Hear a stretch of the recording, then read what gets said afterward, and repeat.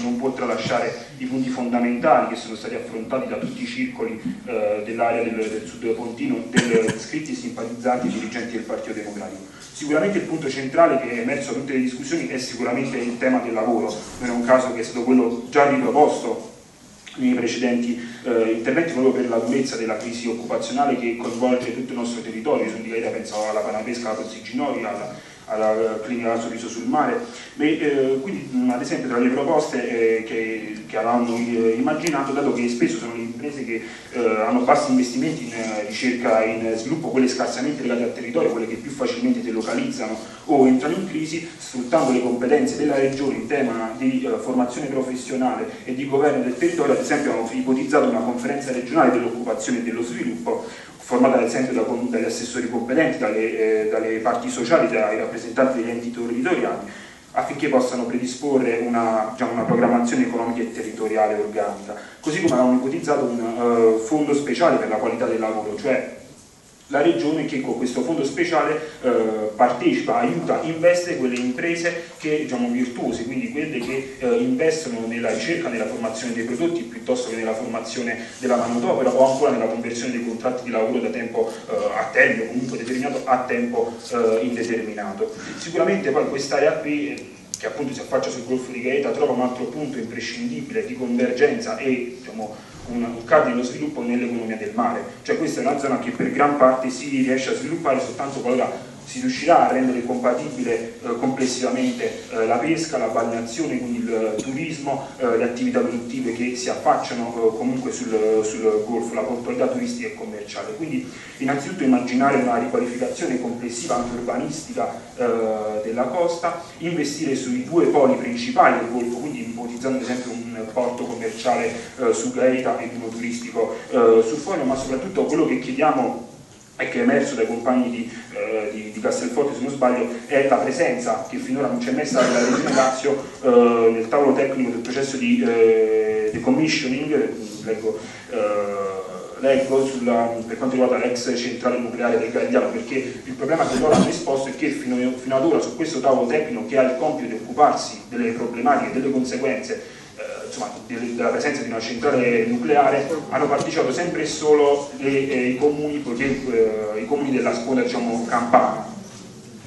e eh, così come quello di intervenire e di rendere effettivo diciamo, il provvedimento finale di area sensibile del, del Golfo. Per quanto riguarda un altro punto notare che è emerso è quello inerente alle infrastrutture. Infatti questo è un territorio che spesso eh, diciamo, risente anche di mancati investimenti economici e produttivi proprio per la scarsità delle infrastrutture che costituiscono la rete il presupposto per uno sviluppo, per uno sviluppo economico. Quindi per quanto riguarda innanzitutto il discorso complessivo deve incentrarsi su interventi credibili, mirati e soprattutto realizzabili, cioè non, non, non insistere su progetti realizzabili perché faraonici e incompatibili con i tempi di crisi della finanza pubblica, come ad esempio quello della Pedemontana, ma investire su soluzioni efficaci e concrete, soprattutto sulla mobilità eh, longitudinale e trasversale tra l'interno, quindi Vitri, Spigno eh, e così via, fino a Coreno, fino, fino ad Ausonia, fino,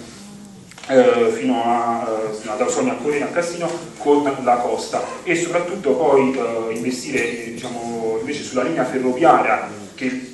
di scendere invece lungo il Golfo, ad esempio sul progetto della Littorina, della via ferroviaria eh, tra Formia e Gaeta, ma che ipotizzandola diciamo, un, un prolungamento fino, fino, a 21 e soprattutto che colleghi tutti gli, diciamo, gli, gli apparati produttivi, tutti gli ospedali che dovrebbero essere alle navi, di cui diremo, dopo. E un punto fondamentale è quello superare la società Laziomar, che finora praticamente altro non si è rivelata che un carrozzone clientelare. Buono magari vedeva agire qualche prebenda, qualche personaggio politico di scarsa fortuna elettorale.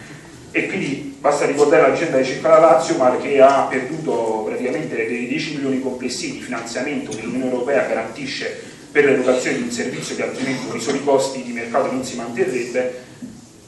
questi 10 milioni sono stati decurtati di 4 milioni dall'Unione Europea perché la Regione Lazio non è riuscita ad emanare nei tempi previsti il bando per l'affidamento del servizio eh, all'armatore che poi privato avrebbe dovuto garantire, garantire, garantire, il servizio. Un tema che sta particolarmente a cuore diciamo così, a noi giovani democratici, eh, dato che tutti, moltissimi studenti, ragazzi, studenti e lavoratori, eh, parlo da studente ovviamente, della, del territorio sono costretti a spostarsi per studiare in ambito universitario o a Roma o a Napoli, per quanto riguarda il trasporto, oltre alle infrastrutture, c'è tutto il discorso sulle, mh, sul sostegno economico che durante la giunta Marrazzo veniva, eh, stato erogato con un investimento di oltre 12 milioni di euro tra il triennio 2008-2011 che consentiva il trasporto eh, gratuito eh, di tutti diciamo, i residenti nella regione Lazio che avessero come unico requisito un reddito di sé inferiore ai 20.000 euro. Con l'avvento diciamo, della, della Polverini queste agevolazioni sono state ridotte ai soli studenti, quindi escludendo lavoratori disoccupati, inoccupati. Sono stati inseriti ulteriori criteri che restringono l'accessibilità a questa forma di agevolazione eh, inerente alla mobilità e di fatto ad oggi si prevedono soltanto degli sconti in base ai quali un ragazzo può arrivare a pagare come minimo, cioè non potrà mai scendere sotto la soglia dei 250 euro, che somma, non sono i 250 euro in sé, ma sommati al costo dei libri, all'aumento delle tasse di iscrizione universitaria, tralasciando magari chi può anche permettersi magari eh, una, una